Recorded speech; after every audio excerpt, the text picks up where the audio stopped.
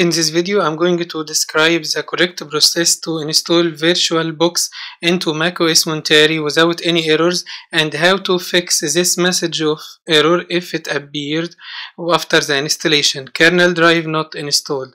Please follow the steps. Download the latest version of VirtualBox from the official website.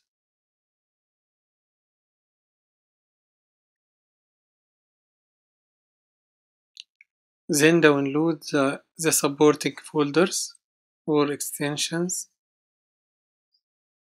Wait until the download completed. Now install VirtualBox.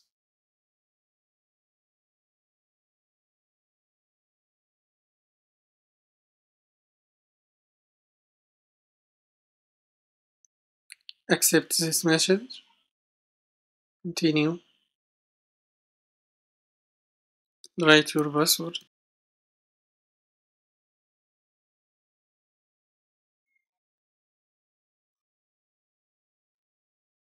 Accept this message.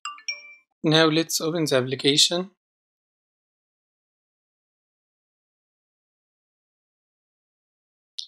And add the extension, preferences, extensions, add Search for the place where you downloaded the extension in the download folder. Okay. Install. Accept.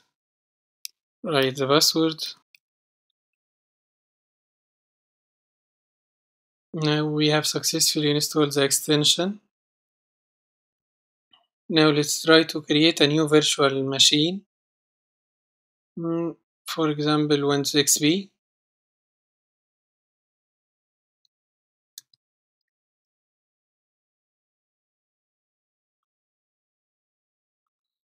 increase the memory size. Create virtual hard disk. Virtual hard disk. Dynamic allocation. Uh, 10 gigabytes okay Now load the ISO folder.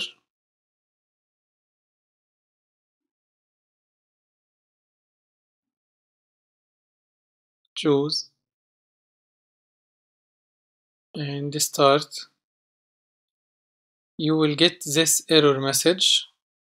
Kernel drive not installed. So we have to fix this error. Close the error message.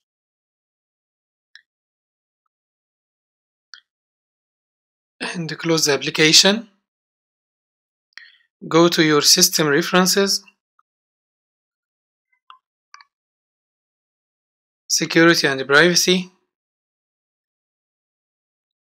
You will see this message you have to accept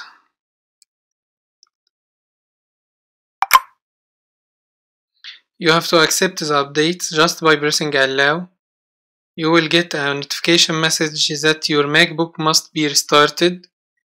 Accept the restart. After the new restart of your MacBook, we can test the application that everything is working okay and the message disappeared. Just open the VirtualBox application and start the virtual machine.